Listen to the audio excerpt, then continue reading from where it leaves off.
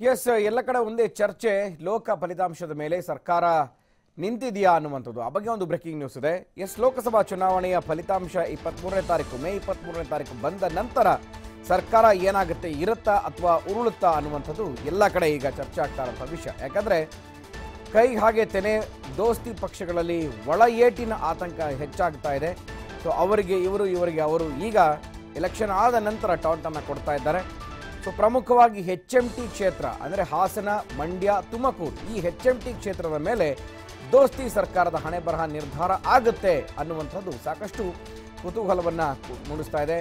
ಸಂಶಯ, ಅಪನಂಬಿಕೆಯಲ್ಲೇ ಚುನಾವಣೆಯನ್ನು ಎದುರಿಸ್ತಾ ಇದ್ದಾರೆ ದೋಸ್ತಿಗಳು. ಯಾಕೆಂದರೆ ಈ ಒಂದು ಹಾಸನ, ಮಂಡ್ಯ ಮತ್ತು ತುಮಕೂರು ಜೊತೆಗೆ ಮೈಸೂರು ಈ ಕ್ಷೇತ್ರಗಳ ಮೇಲೆ ಹೆಚ್ಚಾಗಿ ಫಲಿತಾಂಶ ಏನು ಬರುತ್ತೆ ಅದರ ಮೇಲೆ ದೋಸ್ತಿ ಸರ್ಕಾರ ಇರುತ್ತೆ. ಯಾಕಂದರೆ ಈಗಾಗಲೇ ಎಚ್ಚರಿಕೆಯನ್ನು ಕೂಡ ಕೊಡಲಾಗಿದೆ ಲೈಟಾಗಿ ಸೊ ಒಂದೇ ಸತಿ ಕೈ ಪರಾಜಿತರಿಂದ ಮಂಡ್ಯದಲ್ಲಿ ಮೈತ್ರಿ ಧರ್ಮಕ್ಕೆ ಅಪ, ಅಪಚಾರವನ್ನು ಕೂಡ ಮಾಡಲಾಗಿರುವಂಥದ್ದು. ಇದೆಲ್ಲವನ್ನು ಗಮನಿಸ್ಕೊಂಡ್ರೆ ಎಲ್ಲೋ ಒಂದು ಕಡೆ ಮುಂದಿನ ಸರ್ಕಾರದ ಭವಿಷ್ಯ ಡೋಲಾಯಮಾನವಾಗಿದೆ ಅಂತ. ಎಸ್ ಈ ಬಗ್ಗೆ ನಮ್ಮ ಪ್ರತಿನಿಧಿ ಶಿವಕುಮಾರ್ ಮತ್ತಷ್ಟು ಮಾಹಿತಿಯನ್ನು ಕೊಡ್ತಾರೆ.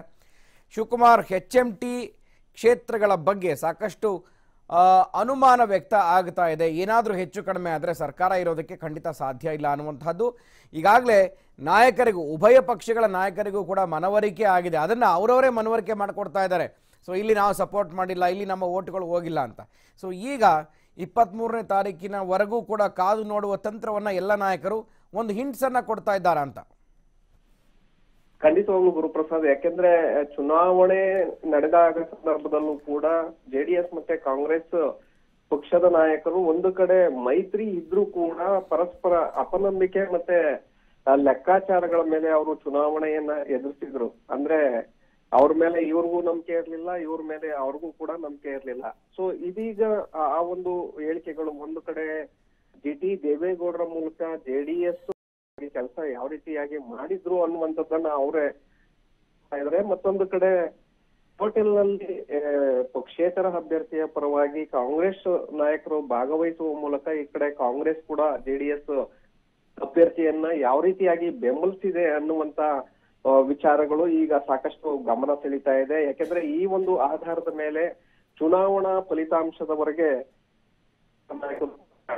ಅಂದ್ರೆ ಮೇ ಇಪ್ಪತ್ತ್ ಮೂರಕ್ಕೆ ಏನು ಫಲಿತಾಂಶ ಪ್ರಕಟವಾಗತ್ತೆ ಆ ಫಲಿತಾಂಶ ಪ್ರಕಟ ಆಗುವಂತ ನಿರ್ಧಾರದ ಮೇಲೆ ದೋಸ್ತಿ ಸರ್ಕಾರದ ಅಳಿವು ಮತ್ತೆ ಉಳಿವು ಕೂಡ ನಿಂತಿದ್ಯಾ ಅನ್ನುವಂತ ಒಂದು ಪ್ರಶ್ನೆ ಈಗ ಎದುರಾಗ್ತಾ ಇದೆ. ಯಾಕೆಂದ್ರೆ ಆ ಲೆಕ್ಕಾಚಾರ ಇಬ್ಬ ಎರಡೂ ಪಕ್ಷಗಳ ನಾಯಕರು ಕೂಡ ಕಾಯ್ಕೊಂಡು ಕೂತ್ಕೊಂಡಿದ್ದಾರೆ ಗುರುಪ್ರಸಾದ್. ಯಾಕೆಂದ್ರೆ ಪ್ರಮುಖವಾಗಿ ಎಚ್ ಎಂ ಟಿ ಕ್ಷೇತ್ರಗಳು ಮಂಡ್ಯ ತುಮಕೂರು ಹಾಸನದಲ್ಲಿ ಯಾವ ರೀತಿಯಾದಂತ ಒಂದು ಫಲಿತಾಂಶ ಬರುತ್ತೆ ಜೆಡಿಎಸ್ ನಾಯಕರು ಕೂಡ ಕಾಯ್ ಕಾತ್ ಕೂತ್ ಎಸ್ ಥ್ಯಾಂಕ್ ಯು ಶಿವಕುಮಾರ್ ಮಾಹಿತಿಗೆ.